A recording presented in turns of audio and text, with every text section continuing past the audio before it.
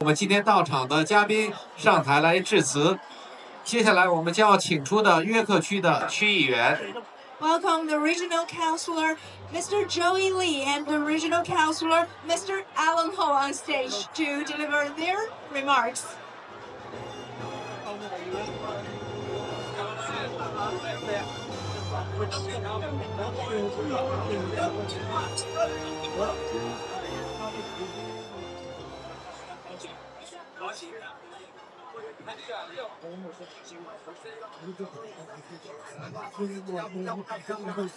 首先，我要感谢王副主席啊，加拿大华侨华人联的总总会今天举办的庆祝中华人民共和国成立七十五周年的晚宴，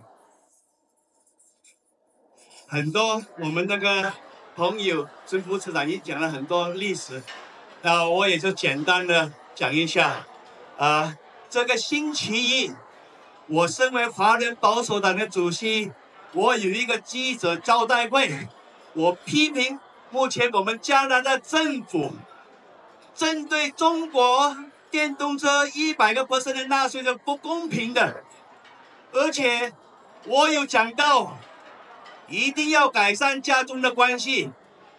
那我时常问，为什么犹太人的政治家？在加拿大整天可以叫加拿大政府给钱、给武器、给以色列政府继续的打穆斯林，为什么我们华人的政治家不能够出来讲一句良心话，说改善家中的关系？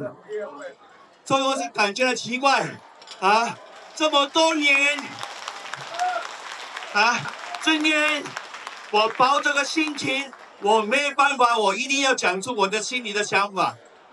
如果你身为一个华人的政治家，没有这样的胆量出来出来讲话的话，没有出来胆量说改善家中的关系，那你就没有必要再连任了。因为这个时间是你应该退退休回家去。好，好，好，啊，当然，我也不再总结，这尽情的讲了。那么最后是祝祖国国泰平安，啊，中国人民伟大复兴，谢谢。